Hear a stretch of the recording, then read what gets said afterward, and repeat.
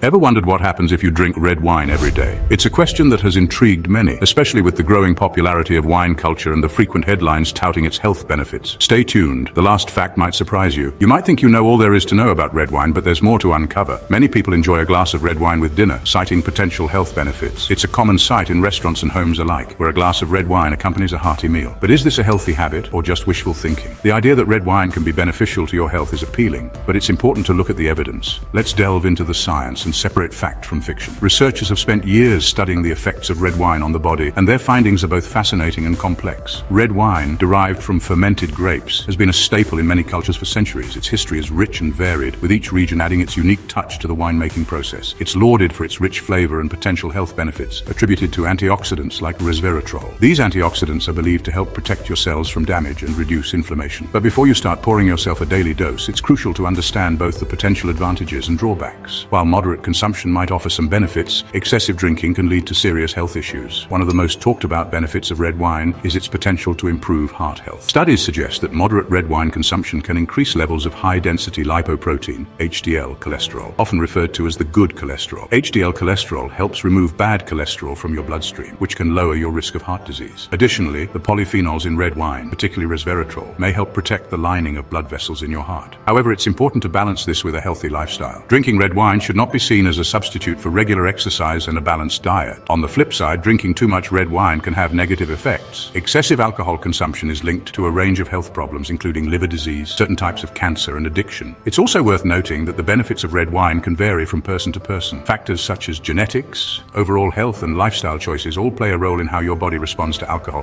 So, what's the takeaway? Moderation is key. Enjoying a glass of red wine with dinner can be a delightful experience and may offer some health benefits, but it's not a magic bullet. Cheers to your health, but remember to drink responsibly. The best approach is to enjoy red wine as part of a balanced and healthy lifestyle. So next time you pour yourself a glass, savor the flavor, appreciate the tradition, and toast to a balanced approach to health and well-being. Some studies suggest that moderate red wine consumption might have cognitive benefits. Resveratrol again takes center stage. It's believed to protect brain cells from damage and potentially reduce the risk of age-related cognitive decline. However, the research on red wine and brain health is still inconclusive. Some studies show a correlation between moderate red wine intake and a lower risk of dementia, while others show no significant link. Further research is needed to determine the long-term effects of red wine on cognitive function.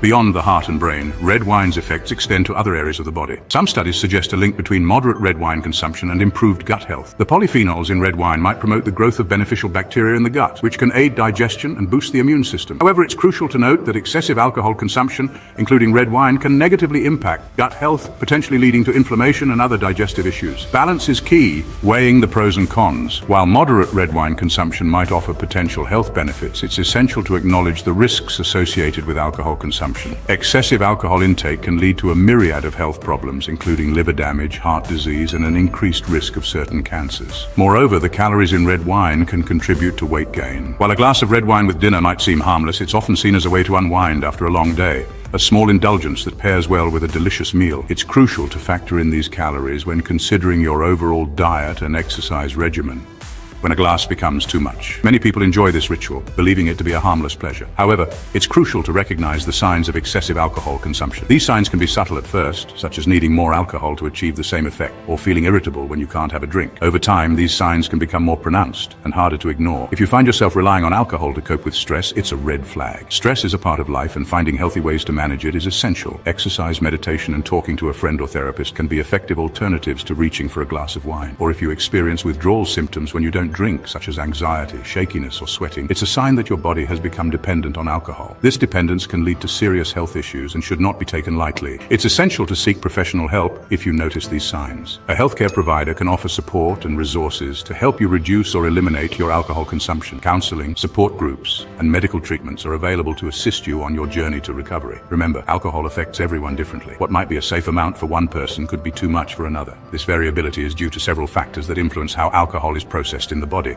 Factors like age, gender, genetics, and overall health can influence how your body processes alcohol. For instance, women generally metabolize alcohol differently than men, and older adults may be more sensitive to its effects. Enjoyed the video? Don't forget to like and subscribe to my channel OnHustler for more health, wellness, and fitness content. Your path to peak vitality and fitness begins here.